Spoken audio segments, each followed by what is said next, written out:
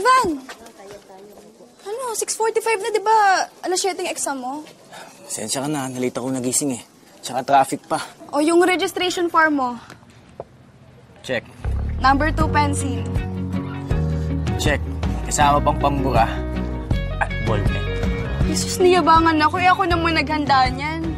Ah, sandali, eto, dinalang kita ng inumin at pagkain kasi bawal lumabas habang nag exam baka magutom ka.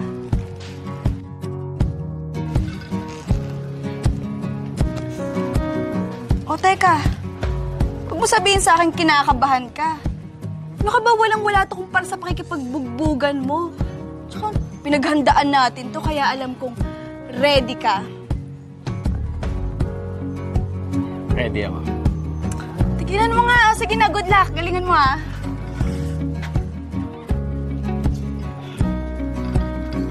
Wala bang lapis? Ah, Good luck sa pok gusto mo. Focus, Ivan. Focus. Ha?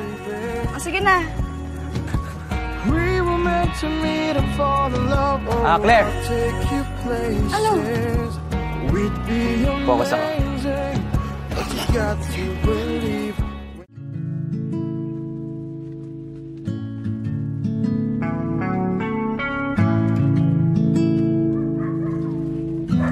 Ivan.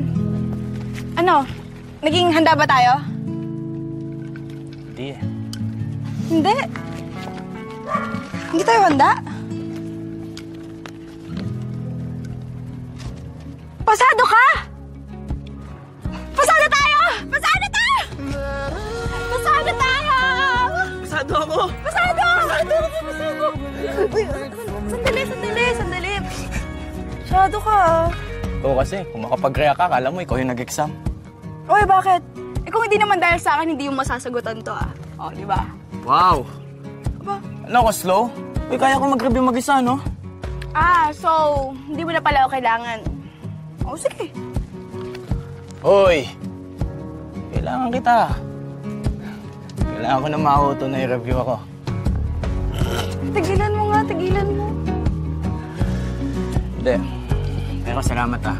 Kung hindi dahil sa'yo, hindi ko magagawa to. Binola mo pa ako. Tara na, gutom lang yan. Dahil ang tagal mo, gutom na din ako. Tara. Thank you for watching The General's Daughter. For more videos, subscribe to ABS-CBN Entertainment YouTube channel and click the I button.